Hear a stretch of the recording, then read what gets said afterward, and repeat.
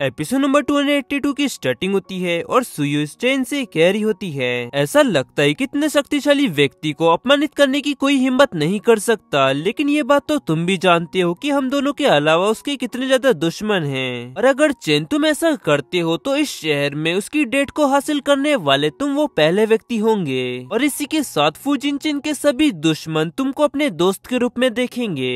और मुझे ये पूरा यकीन है की वो आपकी रक्षा करेंगे और उनमें से कोई भी कायर नहीं है। और फिर चैन कहता है, तुमने जो कुछ भी कहा, उसका कोई मतलब नहीं है। और अगर मैं उसकी डेट के साथ अफेयर करता हूँ तो मैं शहर में मशहूर हो जाऊँगा। अब सुयु कहती है तो क्या तुम ये कहना चाहती हो कि तुम इसके लिए तैयार हो? और फिर चैन कहता है हाँ मैं इसके लिए तैयार हूँ, लेकिन तुमको इनाम का कुछ हिस्सा मुझे पहले देना होगा। तुम क्योंकि ये बात जानती हो कि इसमें कितना ज़्यादा खतरा है। और फिर सुयु कहती है, तुम्हें फ़ायदे के अलावा कोई भी चीज़ सेटिस्फाई नहीं कर सकती, है ना?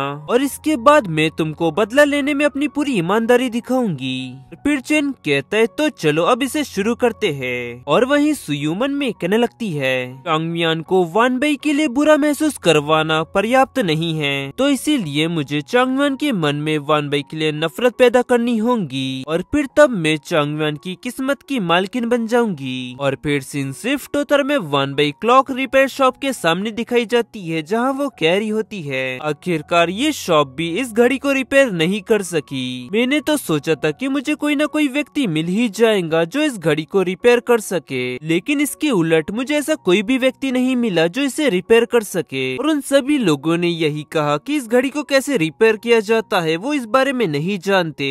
जब मेरी मॉम जीवित थी तो उनको ये घड़ी बहुत ही ज़्यादा पसंद थी तो इसीलिए मुझे इस घड़ी को ठीक करवाना ही होगा। तो बेहतर होगा कि मैं कुछ और दुकानों पर जाकर ट्राई करूँ, और फिर तभी वहाँ पर चैन आ जाता है और कहता है, आखिरकार मैंने वान बाई को देख ही लिया। वो फ़ोटो में जितनी ज़्यादा खूबसूरत लग रही थी, वास्तव में वो उससे कई ज़्यादा खूबसूरत है। और फिर चैन का व्यक्ति उससे कहता है, मिस्टर चैन, ये तो अजीब बात है कि आप हमें उसे धमकाने के लिए कह रहे हैं। क्या आप उसके दिल को जीतना चाहते हैं? आप चाहे तो उसे डायरेक्ट उठा सकते हैं तो ये सब करने की क्या ज़रूरत है? तब चैन उससे कहता है, बेवकूफ़, मैं सिर्फ़ उसके दिल को जीतना चाहता हूँ, न कि सिर्फ़ उसके शरीर को। और जैसे ही मैं उसके दिल में जगह बना लूँगा तो मैं उसके साथ और भी बहुत कुछ कर सकता हूँ। फिर दूसरा व्यक्ति कहता है, मिस्टर चैन, सच में आप मुझे बहुत ही ज़्यादा इम्प्रेस करते हैं। और मुझे इसकी बिल्कुल भी उम्मीद नहीं थी कि आपको इसका एहसास होगा। और हालाँकि मैं पहले से ही जानता हूँ कि आपको हमारे मॉडल के बारे में बहुत कुछ पता है।